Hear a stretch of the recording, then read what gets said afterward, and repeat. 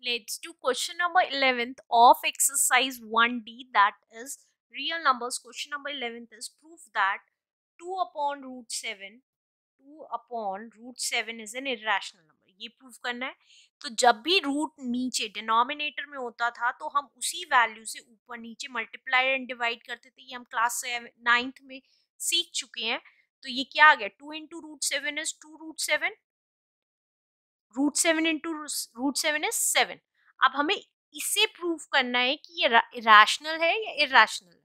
हमें ये प्रूव करना है कि इसे इरेशनल प्रूव करना है। तो हम इसे एज्यूम कर लेते हैं।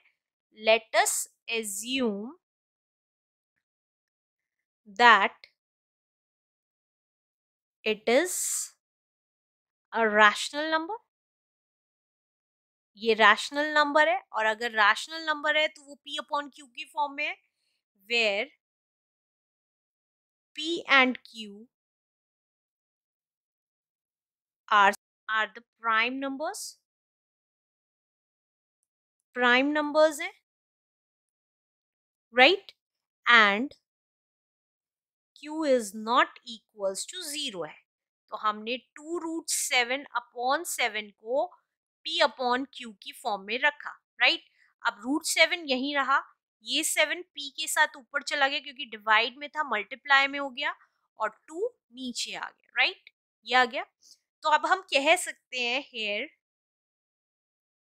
पी एंड क्यू क्या थे? सम इंटीजर थे। Q are some integer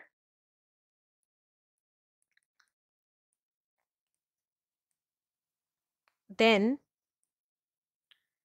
seven P upon two Q क्या हो गया? रैशनल हो गया? Is rational. और अगर ये रैशनल हो गया है तो सो रूट सेवन भी क्या हो गया? Is also rational. Rational number हो गया। लेकिन हमने पढ़ा था रूट सेवन तो इरेशनल है क्योंकि वो परफेक्ट स्क्वायर नहीं बन पाता।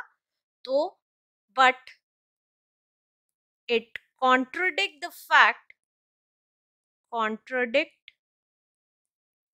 the fact that root 7 is an irrational number? Irrational number है?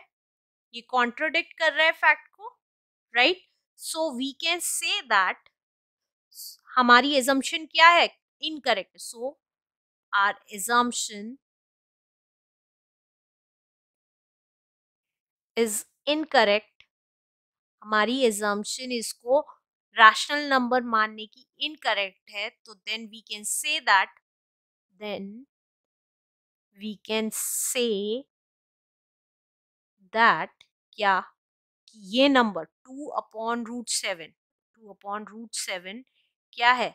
इज़ एन इरेशनल नंबर ये हमारा इरेशनल नंबर है answer Thank you. If you understand the step-by-step -step solution of this video, please subscribe my channel on maths and share it with your friends. Thank you.